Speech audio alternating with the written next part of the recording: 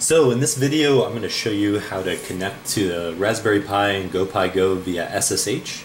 SSH is a way to just log into your Raspberry Pi from another computer and be able to use the command line. So at this point, we assume that we've got the robot built. Um, so the GoPiGo is assembled.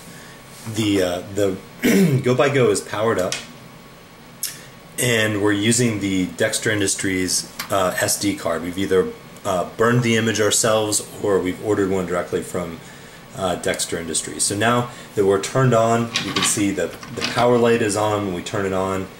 Um, we're ready to connect to it and see what's going on inside the Raspberry Pi. So I'm going to choose option two here, connecting with the Ethernet cable. Now, doing this on the Mac and doing this on the PC are very similar. Um, there are a couple of hardware tools that you need to get started. I've got a um, Mac uh, Ethernet adapter to USB because I'm using a MacBook Air. If your Mac has a uh, Ethernet port, then you don't need that. I've got an Ethernet cable, which you can also get from Dexter Industries. And so just going to put these together. Simply plug in the USB and then on the front of my GoPiGo. I'm gonna connect the Ethernet.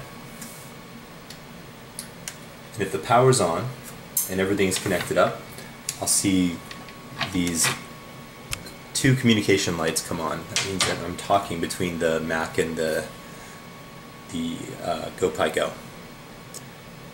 So I see the two communication lights are on, the power's on, we're hooked up via uh, Ethernet here. Uh, let's hop on and see what we can get on via SSH. I've got the Raspberry Pi is connected to the uh, to the computer over Ethernet, and I want to check to make sure that they're actually talking to each other. So I'm going to go up, click on the uh, network settings. I want to open network preferences, and that will show me a couple of different ways that my network is set up. I've got Wi-Fi, and I'm connected to a local Wi-Fi network, but I'm more interested in this USB Ethernet since that's the way I'm connecting to the Raspberry Pi. So I click on that, and I'll notice that my um, I've got a status connected. Now, if you don't see this, make sure that you're using DHCP, just using DHCP, not the manual address or using BootP or any of the other options. Um, and that should set it up. So now that we're we know we're connected, we'll double check and make sure that the com two computers are talking. I'm going to open up Terminal. You can find Terminal under Launchpad if you just go to Launchpad and start typing in Terminal.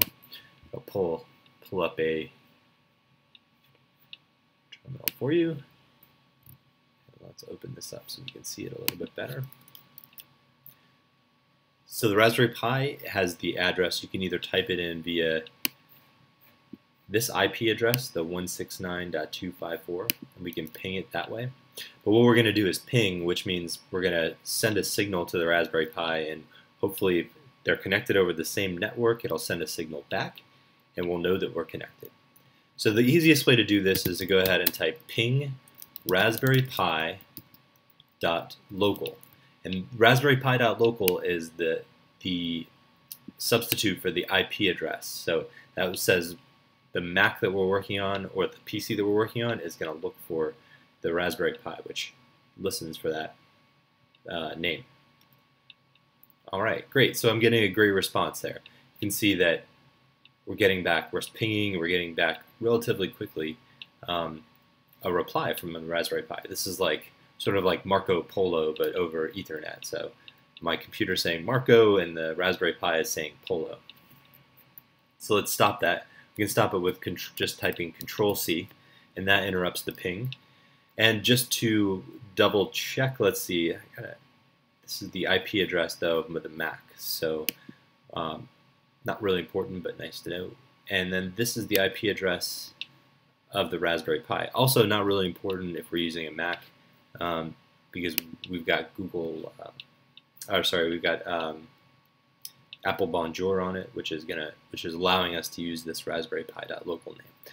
So now that we know that we're connected and when they're talking and our Marcos and Polos are done, we're going to go ahead and SSH into it. And the command for that is just SSH, and then we're going to log in under the name Pi, and then we're going to log in under this Raspberry Pi.local, which is going to be we're going to we're going to log into the machine Raspberry Pi.local.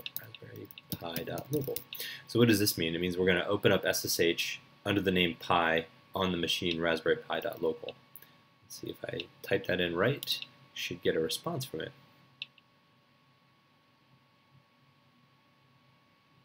Great. So I added the RSA key, and now it's asking for a password. And the default password is Raspberry, all lowercase. So that's R-A-S-P-B-E-R-Y, same way we spelled it right here. And we're in. And we know we're in because we were logged in as Raspberry Pi, and we're logged in. This little tilde means we're at home. And we can type in ls and see a list of the files. These are just some files that I added to my local Raspberry Pi. I'm going to go ahead and change directories to the desktop and on the desktop, you should see, if you're using the Dexter Industries image, if we list the files with the command ls again, we'll see a bunch of um, different files that are on there, including directories. And we're interested in the GoPiGo, so we'll go to cd GoPiGo,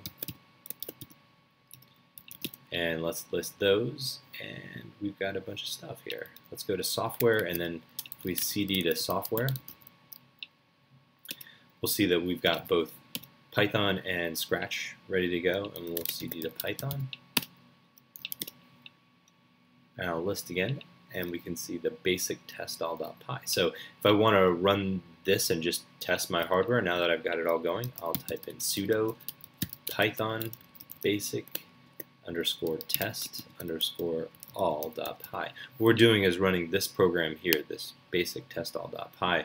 We're running it with sudo because we run all of our Python commands that use the Raspberry Pi or that use the GoPiGo um, with sudo to to tell the computer that we're an administrator. Running Python, and then this is the name of the program that we're running. And there we go. We can start turning on LEDs, do all sorts of stuff. That's it. We can shut down. We want to do something else with sudo halt.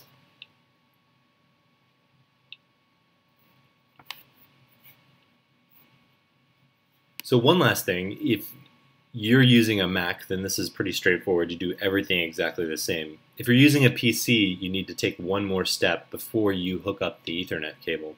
Um, and you'll want to install Bonjour. So Bonjour comes installed already on a Mac, but for a PC, uh, you'll need to download it from Apple, and it's it's free and it's really easy to to get up and get installed. And that's what allows you to go from an IP address that looks like 192.168.something.something to just the name raspberry pi.local. You also want to download a program called PuTTY. And so PuTTY is like the SSH command line. Apple doesn't come with, or uh, a Mac does not come with, try one more time, a PC does not come with a terminal program pre-installed. So once you download that, you can fire up PuTTY and it looks just like this. You type in the host name and the, you have to specify the port, which is 22. And then you'll get a dialog and you'll have something that looks exactly like the terminal that we saw for the Mac. Just uh, it's just using a different piece of software. Uh, you'll see everything you saw on the Raspberry Pi that you saw from the Mac. You'll see it also in the um, in the in the PC, and that's pretty much the only difference.